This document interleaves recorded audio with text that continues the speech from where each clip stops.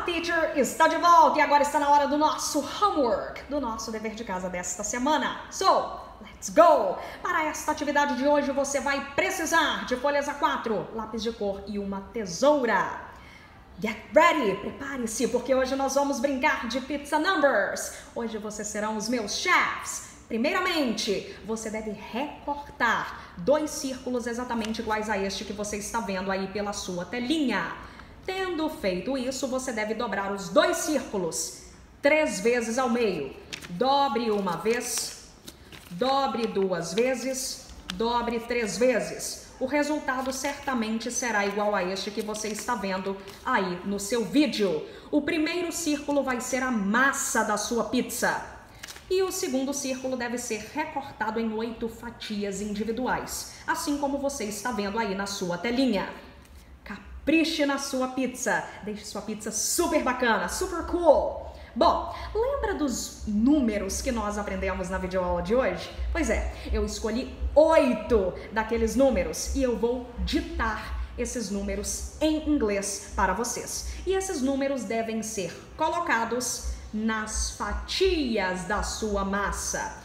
Um número por fatia, ok? Então, atenção, prepare-se.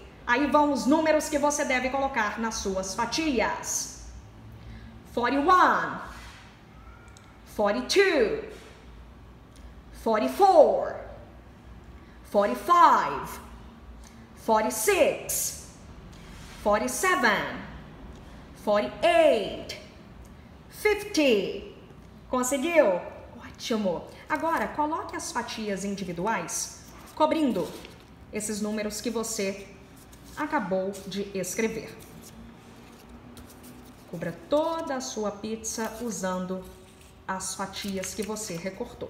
Feito isso, você vai escolher oito ingredientes para desenhar em cada uma dessas oito fatias. E a quantidade desses ingredientes vai depender do número que está embaixo da fatia. Então, exemplo, se embaixo desta fatia tiver o número 40, você deve desenhar 40 pedacinhos de queijo nesta fatia.